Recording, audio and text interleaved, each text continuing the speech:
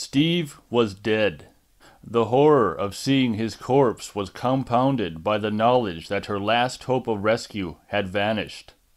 She was the only one left alive. She suddenly remembered the rifle that Steve had kept in the office. She remembered arguing with Steve about the gun, wanting him to get rid of it, and now she thought of that rifle as her last chance. He had given in to her request and put it somewhere. Where? She had to think. The barn. She remembered he had taken it out there and hung it high up on the wall, well out of reach of any small children. She ran as fast as she could to the barn, praying she could make it in time. She reached the door and pushed it back, sliding it shut behind her, then leaned against it for a moment to catch her breath. No time, she told herself. No time. She'll be in here any minute. She ran to the opposite wall and climbed up on a table, reaching for the rifle mounted on hooks used to hold tools. She pulled it down and checked it. Of course, Steve had unloaded it. But the bullets had to be somewhere. Where would he have put them? She started searching madly through the drawers of the workbench, pawing through the tools. Where are the goddamn bullets? she cried, sobbing with fear. One of the cabinets was locked with a chain. They had to be in there. She damned Steve for being so conscientious.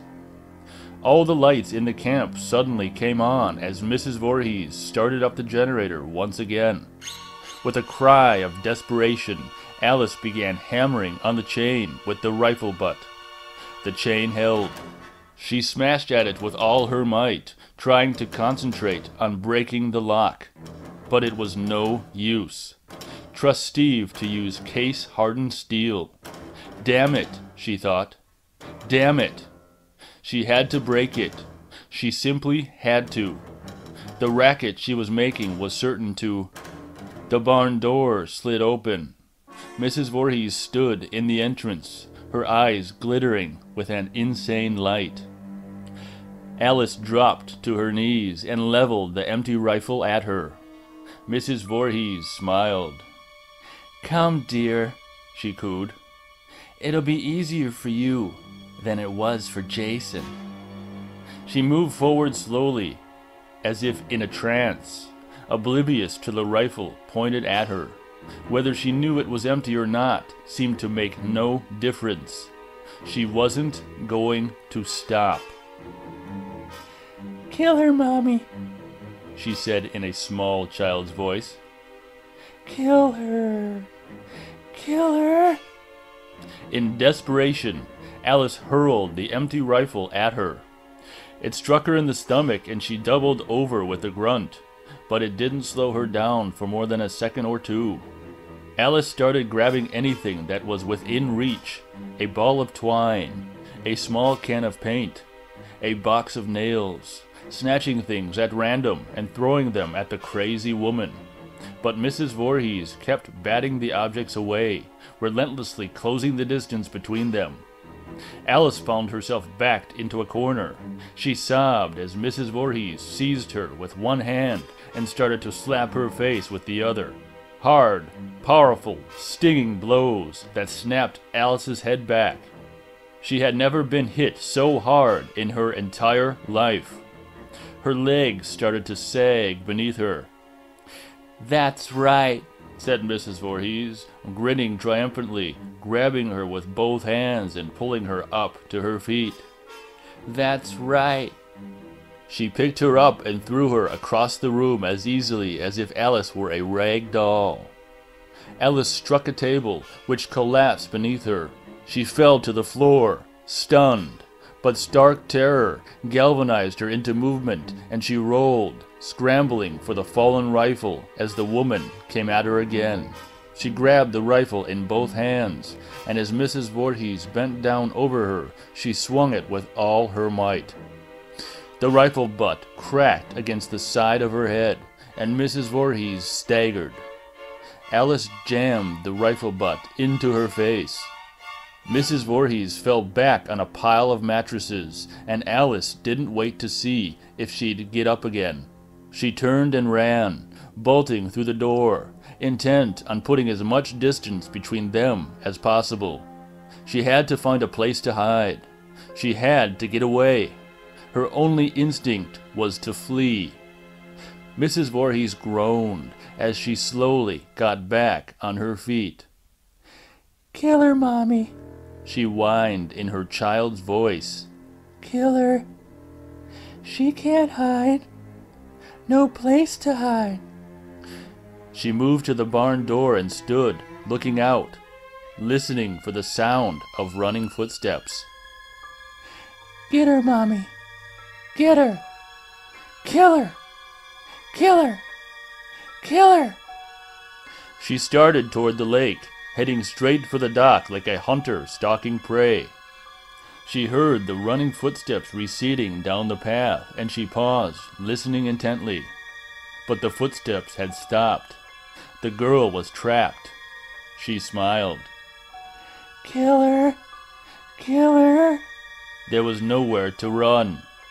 Kill her! No escape. No hope.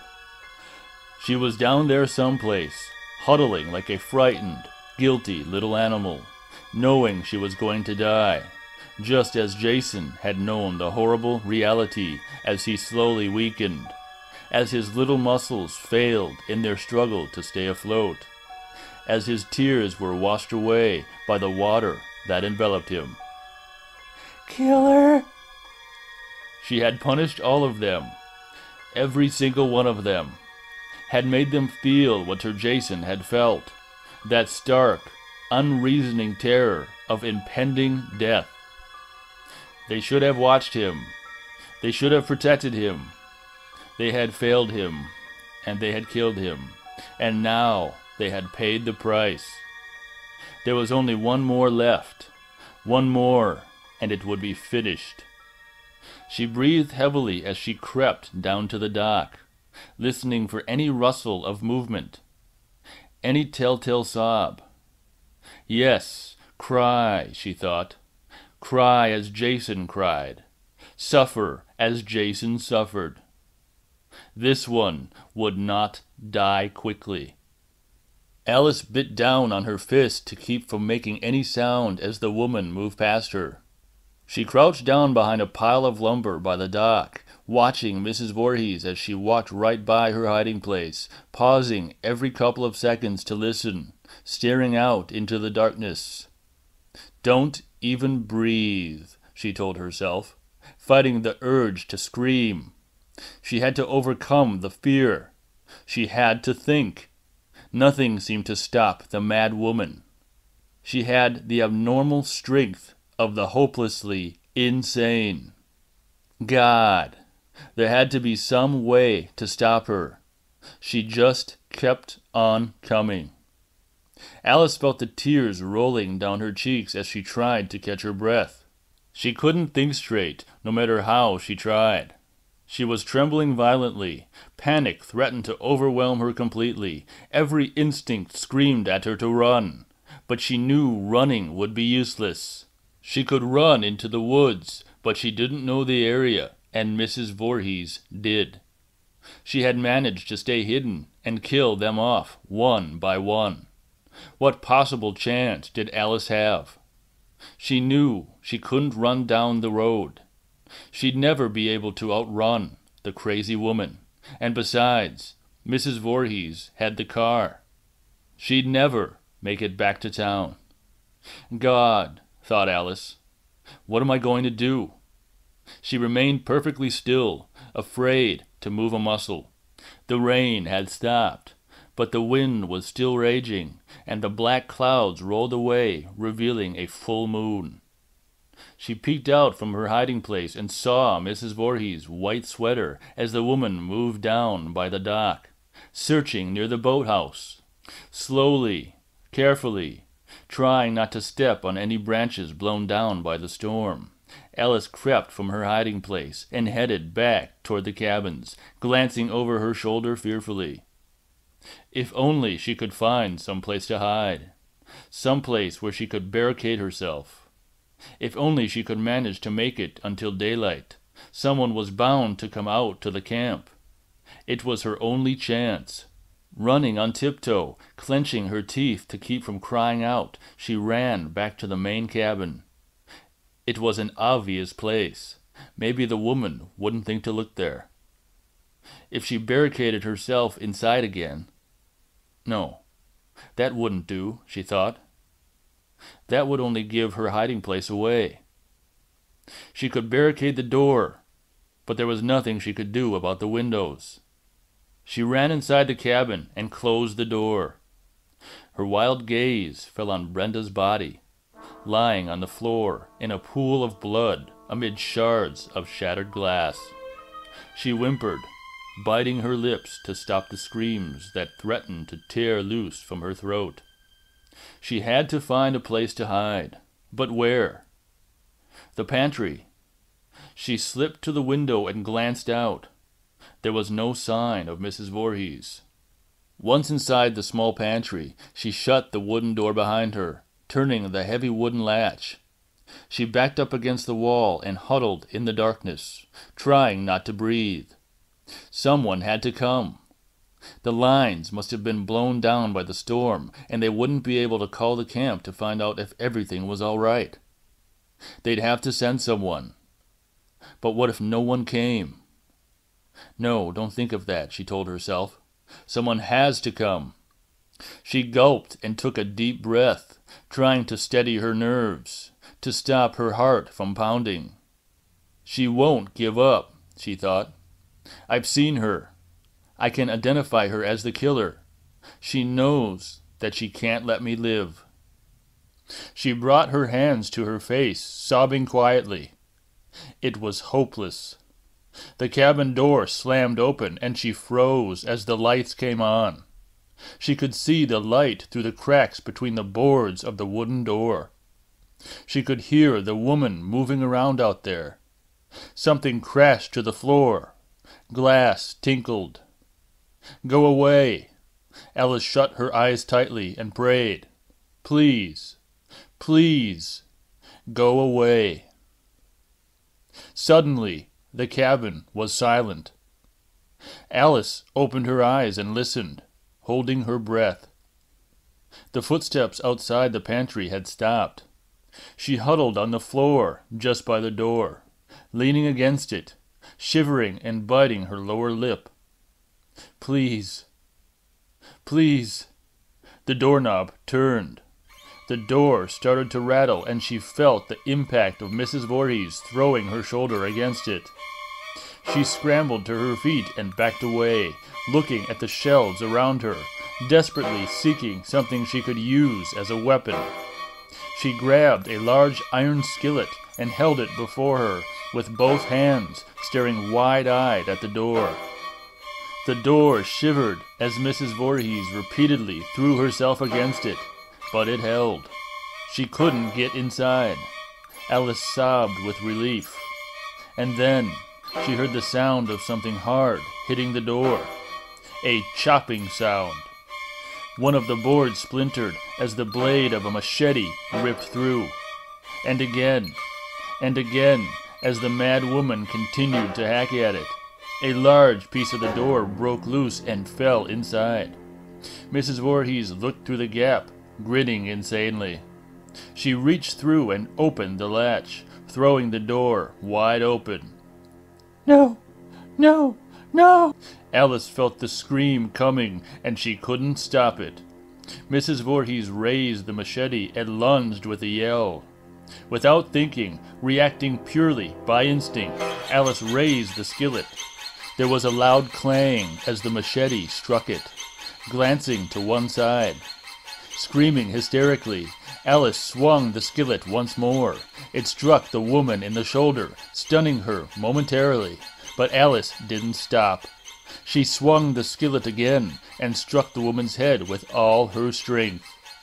Hearing the dull sound of metal hitting bone again and again, Mrs. Voorhees cried out and staggered back, bringing her hands up to protect her head. Alice kept pounding at her furiously until she fell back on the floor. She stood over the fallen body, ready to bring the skillet down again, but Mrs. Voorhees didn't move. Alice held her breath. The woman lay motionless on the floor. Alice couldn't tell if she was breathing.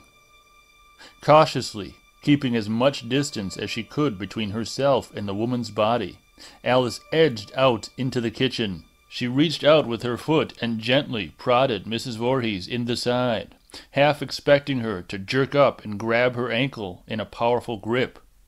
But the woman didn't stir. There was a large bruise over her eye where the skillet had struck her. The skin had split and blood slowly trickled down her face.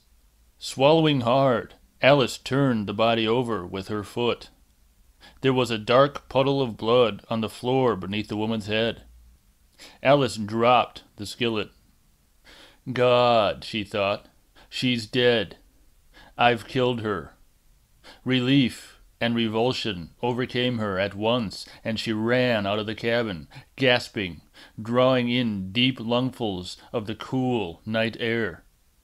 I'm alive, she told herself, over and over again. Thank God, I'm alive. I'm alive. I'm alive. She couldn't stop shaking. She wandered down to the lake and stood in a daze. Suddenly her knees felt weak, and she crouched on the ground by the canoes, kneeling and looking at her reflection in the moonlit water. She felt numb. She stared at her reflection. It seemed as if she was looking at a stranger's image. The face that stared back at her was void of expression. She wanted to cry, but no more tears would come. She held herself as the convulsions started, and she thought she was going to throw up. Her insides were churning, and her throat felt dry. She couldn't swallow. She longed for the feel of the cool water on her face, and she leaned forward. A shadow fell across her. There was another image shimmering in the lake. The figure of a tall woman with blond hair, wearing a white, blood-stained sweater, raising a machete. Terror sent adrenaline trip-hammering through her as Alice screamed and seized a canoe paddle, spinning around, holding up the paddle to ward off the blow. The steel blade whistled down and bit into the paddle, chopping it in half, and Alice felt the impact shudder through her arms. She fell, scrambling to grab the severed paddle, rolled as the blade of the machete swept past her, missing her face by inches, and swung the paddle hard as the machete came down once again. The wood connected with the blade and sent it spinning from the woman's grasp. But the force of her swing had pulled Alice off balance. Before she could regain it, she felt herself seized from behind. Screaming, she flailed her arms and elbows, twisted loose, and pulled away. Then felt a sharp pain in her shoulder as Mrs. Voorhees struck her with the broken paddle. Alice fell on her back and rolled to the side as Mrs. Voorhees stabbed down with the jagged end of the paddle, barely missing her. The splintered wood sank into the soft ground as Mrs. Voorhees fell forward, overbalanced. Alice leaped on top of her, desperately fighting for her life like a cornered animal. They rolled over and over on the ground, clawing and pummeling each other. But the older woman was stronger. She rolled Alice over and got on top of her, trying to pin her arms down with her knees, grabbing her around the throat and squeezing. Alice fought for breath, squirming beneath her, choking as the powerful fingers closed around her throat. She managed to lunge forward and fasten her teeth around the woman's wrist. She bit down hard, drawing blood. Mrs. Voorhees cried out and released her. Alice shoved away, coughing, gasping for breath, struggling to her feet. She started to run, but a hand closed around her ankle and threw her to the ground. She hit hard, falling on her chest, twisting as she felt the woman climbing up her leg and straddling her back. grabbing a fistful of her hair and hammering her head into the ground. Alice buckled and thrashed like a fish out of water, almost dislodging her, squirming around and sinking her teeth into her arm, biting down with all her might. She felt the woman's grip relax and she hurled herself to the side, throwing her off, gasping for breath as she scrambled away, staggering to her feet. Her gaze fell on the machete, lying on the ground about five yards away. She lunged for it in desperation, felt her fingers close around the handle, picked it up, and turned. Mrs. Voorhees was running toward her, her face twisted into a feral snarl of rage. Alice raised the machete. Mrs. Voorhees tried to stop herself, but she had too much forward momentum, and her eyes grew wide as Alice brought the blade back. She opened her mouth. Alice gripped the machete tightly and screamed as she swung it in a wide, sweeping arc, like a baseball player connecting with a fastball. Mrs. Voorhees threw her hands up to ward off the blow, and the blade struck her neck and sliced right through it. The force of Alice's desperate blow chopping through the spinal column, decapitating Mrs. Voorhees with one stroke. Her severed head fell to the wet ground, the mouth open in a soundless scream, the eyes blinking as blood gushed from the stump of her neck blood spurting in fountains from her severed arteries. For a second, it seemed to Alice as if everything had somehow shifted into slow motion. The headless body remained standing for a moment, arms up, fingers clutching at the air. Then it slowly collapsed like a marionette with its strings cut, hitting the ground and staining it with a wash of blood that poured from the grisly wound. For a long moment, Alice simply stood there, numb and slack jawed, her eyes wide, staring at the horror lying at her feet. Then the bloody machete slipped from her fingers and fell softly to the ground. In a daze, she turned away and walked unsteadily to the water, unable to comprehend what she had done. Her mind had retreated into shock. Without fully realizing what she was doing, Alice bent down and pushed one of the canoes into the water, stepped into it, and drifted onto the lake. Into the darkness, as if safety could be found on the water, out where no one could reach her, away from the horror of what had happened on the shore. She slumped down in the boat, just letting it glide, as her mind was drifting sifting through random, disconnected images. As if drugged, she stared vacantly out across the water at the moonlight rippling on the surface of the lake. She trailed her hand in the water, feeling the coolness on her fingers, vaguely aware of the gentle rocking of the boat. She felt no relief at having escaped alive. She felt absolutely nothing. She was not aware of time passing. At some point, she noticed the sky turning gray with the first light of dawn. She became dimly aware of the sun's rays glinting on the lake. She seemed to hear, as if from a great distance, the sounds of birds singing. Morning came, and the mist began to dissipate. The woods around the lake seemed quiet and peaceful. Everything was still washed clean by the storm.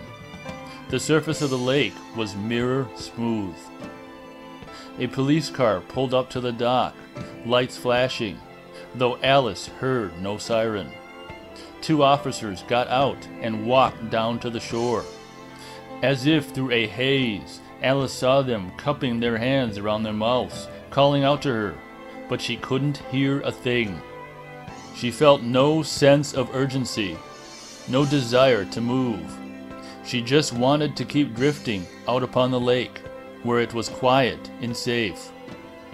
Something came bursting up out of the lake beside her boat. She felt the spray of water. She caught a brief glimpse of a body that looked like a corpse.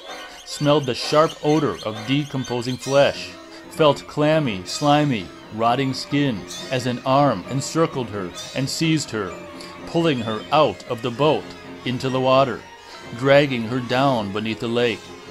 She opened her mouth to scream,